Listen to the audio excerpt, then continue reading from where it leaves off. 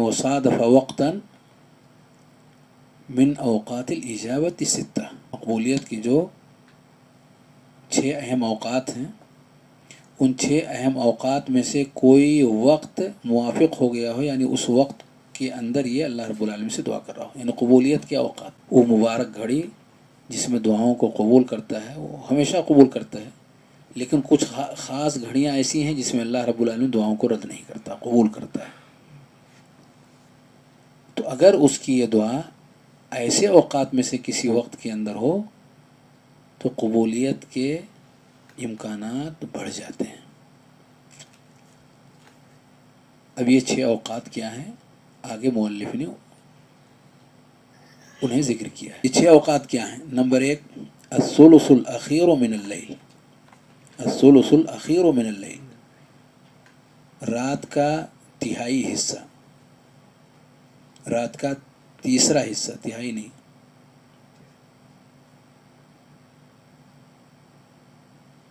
جیسے رات کو تین حصوں میں آپ تقسیم کر دیں۔ رات کو تین حصوں میں تقسیم کر دیں تو تیسرے حصے کے اندر یہ دعا کی جاتی ہو۔ اچھا کتنے بجے سورج غروب ہوتا ہے؟ مان لیں سات بجے۔ ٹھیک؟ اور سورج طلوع صبح کے وقت میں کتنے بجے ہوتا ہے؟ چلیے سات مان لیں سات مان لیں۔ کہ سات بجے سے سات بجے تک یہ رات کا وقت ہے۔ سات بجے سے سات بجے کا وقت یہ رات کا وقت ہے۔ بارہ گھنٹے۔ اب ان بارہ گھنٹوں کو تین حصوں میں آپ تقسیم کر لیں۔ چارتے ہیں؟ چارتے ہیں بارہ۔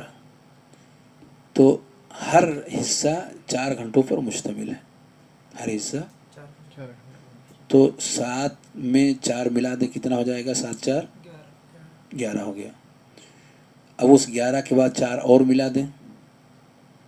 تین بج جائیں گے۔ ہے نا؟ تین بج گئے نا؟ دو تہائی حصہ نکل گیا۔ چار اور ملا دیے۔ تو دو تہائی حصہ نکل گیا۔ اب ایک تہائی بچا ہوا ہے۔ چار گھنٹے اور باقی ہیں۔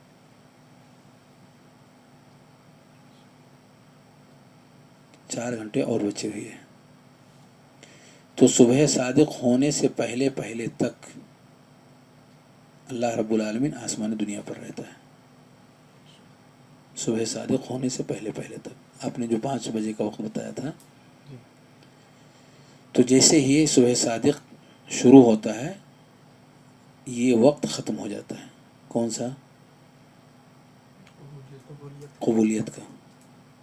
قبولیت کا یہ وقت ختم ہو جاتا ہے۔ تو رات کے تیسرے حصے میں جو رات کا تیسرا حصہ ہے، اس تیسرے حصے میں اللہ رب العالمین کب تک نزول کرتا ہے اور کب تک یہ قبولیت کا وقت رہتا ہے؟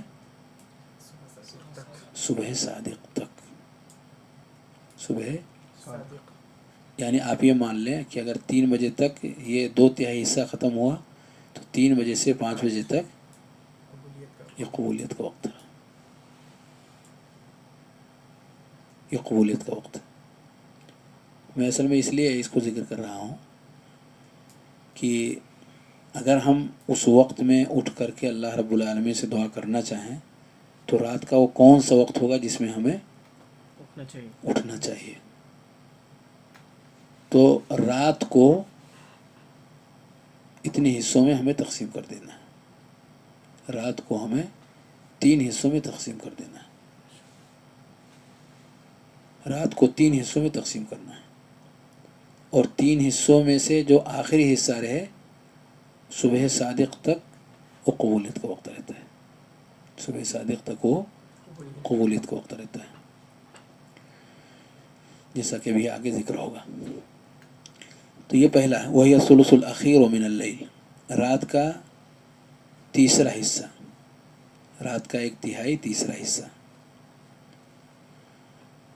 نمبر دو عند الاذان اذان کے وقت قبولیت کا وقت اذان کے وقت نمبر تین وبین الاذان والاقامہ اذان اور اقامت کے بیچ یہ بھی قبولیت کا وقت ہے اذان ہو گئی ابھی اقامت نہیں ہوئی قبولیت کا وقت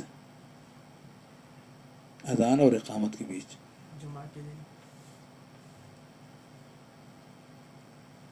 تو دوسرا کیا بتایا؟ وہ عند الاذان۔ جی۔ اذان کے وقت۔ اذان کے وقت۔ یعنی اذان ہو رہی ہے تب یا ہو جائے تب۔ اذان ہو جائے۔ اذان ہو رہی ہے تو ہمیں وہ دہرانا ہے جو مؤذن دہراتا ہے۔ جب اذان ہو رہی ہے تو ہمیں کیا کرنا چاہیے؟ یعنی اذا سمعتم الاذان فقولوا مثل ما یقول۔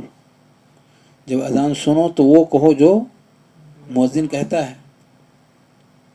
اور جب مؤذن اذان دے لے تو درود نبی صلی اللہ علیہ وسلم سے، نبی صلی اللہ علیہ وسلم پر درود بھیجیں اور نبی صلی اللہ علیہ وسلم کے لیے دعا کریں کہ اللہ رب العالمین آپ کو وسیلہ نامی ایک عظیم الشان مقام عطا فرمائے۔ تو ہم دعا کب کرتے ہیں نبی صلی اللہ علیہ وسلم کے لیے؟ اذان کے دوران؟ اذان کے بعد۔ نبی صلی اللہ علیہ وسلم کے لیے ہم دعا کرتے ہیں اپنے لیے بھی دعا کریں۔ ہے نا؟ نبی صلی اللہ علیہ وسلم نے وہ ساری چیزیں سکھا دی ہیں کہ ہمارے لیے کیسے دعا کرو۔ تو وہ ہم کرتے ہیں روزانہ۔ تو جب ہم نبی صلی اللہ علیہ وسلم کے لیے بعد میں کرتے ہیں تو اپنے لیے پہلے کیسے؟ نبی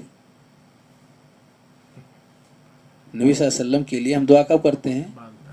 اذان کے بعد۔ تو اپنے لیے کب؟ نبی صلی اللہ علیہ وسلم کے بعد۔ نبی صلی اللہ علیہ وسلم کے بعد۔ اس کے بعد ہمیں اپنے لیے دعا کرنی چاہیے۔ دوسرا اور تیسرا تو ایک ہی ہو جائے گا پھر۔ نہیں۔ یعنی یہ جسٹ بعد ہو گیا۔ جی۔ اچھا۔ لگ کر کے ہے۔ اور جب فاصلہ ہو جائے اس میں اور اقامت میں تو وہ دوسرا والا مرحلہ شروع ہو جائے گا۔ یہ اس سے جڑا ہوا ہے اذان کے ساتھ۔ اذان سے جڑا ہوا ہے۔ اس میں گیپ نہیں ہے، فاصلہ نہیں ہے۔ تیسرا کیا ہے؟ اذان اور اقامت کے بیچ۔ اذان ہو گئی اور ابھی اقامت نہیں ہوئی۔ ہم مسجد میں گئے یا نہیں گئے، ہم کہیں بھی ہیں، اذان ہم نے سنی ہے۔ ہم اگر اس بیچ میں اللہ رب العالمین سے دعا کرتے ہیں تو یہ قبولیت کا وقت ہے۔ اور اگر سنتیں پڑھ پڑھتے ہوئے دعا کریں یا پڑھنے کے بعد دعا کریں، اور اچھا ہے۔ پھر یہ قبولیت کا وقت ہے اذان اور اقامت کے بیچ عام طور پر لوگ اسے ضائع کر دیتے ہیں۔ اس عظیم الشان وقت کو، جو کہ قبولیت کا وقت ہے، اسے ضائع کر دیتے ہیں۔ نمبر چار، ادبار الصلوات المکتوبات، فرض نماز کے بعد۔ فرض نماز کے بعد۔ نمبر 5 وعند صعود الإمام يوم الجمعة على المنبر حتى تقضى الصلاة. وعند صعود الإمام. جمعة کے دن امام کا منبر پر چڑھنے سے چڑھنے کے وقت امام کا منبر پر چڑھنے کے وقت حتى تقضى الصلاة یہاں تک کی نماز ختم ہو جائے۔ نماز ختم ہونے تک امام ممبر پر چڑھا خطبہ دینے کے لیے۔ اس وقت سے قبولیت کا وقت شروع ہو گیا۔ اور کب تک یہ جاری رہے گا؟ السلام علیکم ورحمۃ اللہ، السلام علیکم ورحمۃ اللہ۔ یعنی امام ممبر پر بیٹھا، السلام علیکم ورحمۃ اللہ وبرکاتہ، بیٹھ گیا وہ۔ اب مؤذن نے اذان دینا شروع کر دیا۔ وہاں سے یہ اس کی شروعات ہوتی ہے قبولیت کی۔ اور کب تک چلتی ہے؟ السلام علیکم ورحمۃ اللہ السلام علیکم ورحمۃ اللہ اس بیچ میں۔ اب اس میں طرح طرح کی باتیں کہی گئی ہیں، لیکن یہ پورا وقت ہے قبولیت کا۔ کتنے ہو گئے؟ پانچ ہو گئے۔ چھٹا ہے وہ آخر ساعت بعد العصر من ذلك اليوم۔ آخر ساعت بعد العصر من ذلك اليوم۔ جمعہ ہی کے دن، عصر کی نماز کے بعد آخری گھڑی۔ عصر کے بعد، جمعہ کے دن، عصر کے بعد آخری وقت۔ آخری گھڑی۔ گویا کہ عصر کے فوراً بعد یہ شروع نہیں ہوتا بلکہ اثر کے اوقات میں سے جو آخری اوقات ہیں آخر ترین اوقات ہیں یہ قبولیت کا وقت ان آخری اوقات کے ساتھ پایا جاتا ہے۔ یہ کل کتنے اوقات ہو گئے؟ مؤلف نے کہا وصادف وقت من اوقات الاجابت ستہ کہ اس کی یہ دعا ان چھ قبولیت کے اوقات میں سے کسی وقت میں ہو۔ ان چھ اوقات میں سے۔ جن چھ کا بھی سرسری طور پر تذکرہ کیا۔ تو اگر ایسا ہوتا ہے تو اللہ رب العالمین کی بارگاہ میں اس کی یہ دعا اس لائق ہے کہ وہ قبول کی جائے۔